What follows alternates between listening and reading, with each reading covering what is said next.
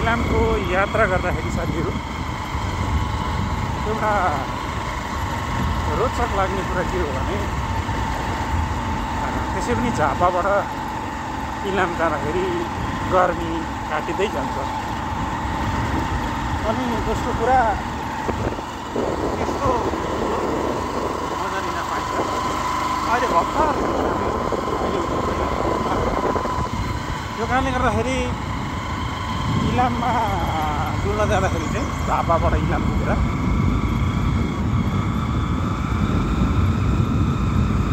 अलिक झापामा गर्मी मौसम हुनुपर्छ इलाम जान त्यसै रहर हुन्छ अनि दोस्रो कुरा ट्राभल गर्दाखेरि ट्राभल गर्दाखेरि ट्राभलमा साथी हुनु पऱ्यो यतापट्टि हामी देख्न अगाडिपट्टि ड्राइभ गरिरहेको र यो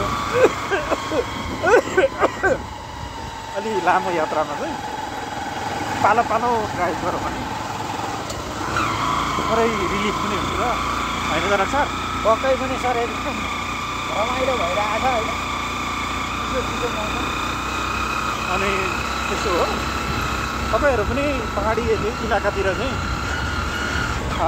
घुम्न जाँदै हुनुहुन्छ। भने पहिलो नम्बर चाहिँ गाडी कुदाउँदाखेरि थोरै सतर्क अप्नाउनु होला। दोस्रो नम्बर हामी जस्तै झापाबाट इलाम जाँदैछौँ नि। यो चाहिँ एकदम रोचक छ। गर्मीलाई छेल्दै चिसोतिर जान्छौँ। स्वर्ग जस्तै महसुस हुन्छ। त्यो सँगसँगै तपाईँहरूले यसरी पालै पालो बाइक चाहिँ जानु हो भने अझै रोचक हुन्छ रमाइलो हुन्छ। पालै पालो तपाईँहरूले